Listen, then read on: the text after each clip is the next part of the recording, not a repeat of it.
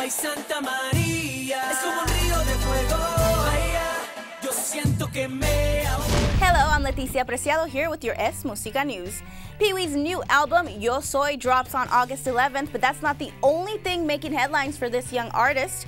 Turns out the singer is upset with a tabloid magazine who reportedly printed details of the artist's first sexual experience. Pee Wee denies the claim, saying that this interview was taken out of context and that from now on, he will no longer speak to the media about his personal life since they always manage to twist things around.